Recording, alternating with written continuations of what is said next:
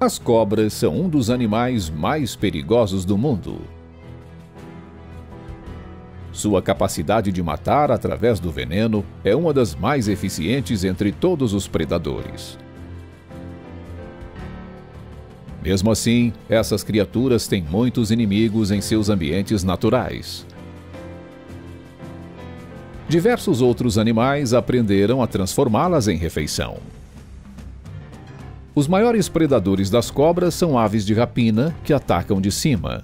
Lagartos, felinos e várias outras espécies também têm a capacidade de comê-las.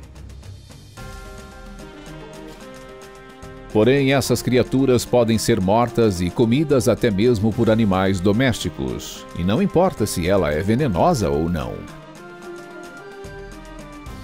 Assim como no caso a seguir, onde um porco foi visto matando e comendo uma cobra venenosa que entrou no seu chiqueiro. Essas imagens incríveis mostram o momento em que uma cobra se dá mal ao entrar no chiqueiro de porcos domésticos. A rastejadora provavelmente estava só de passagem, já que seu tamanho não era tão grande para ela tentar matar um desses porcos. Mas, para seu azar, esses porcos ainda não tinham sido alimentados e eles resolveram matar e comer a cobra, que, segundo informações, era venenosa. Não ficou claro como o porco matou a cobra ou mesmo se ele foi picado ou não.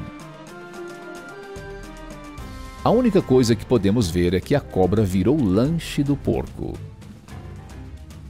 Dessa vez, essa cobra entrou no lugar errado e na hora errada e acabou perdendo a sua vida devido a esse erro fatal.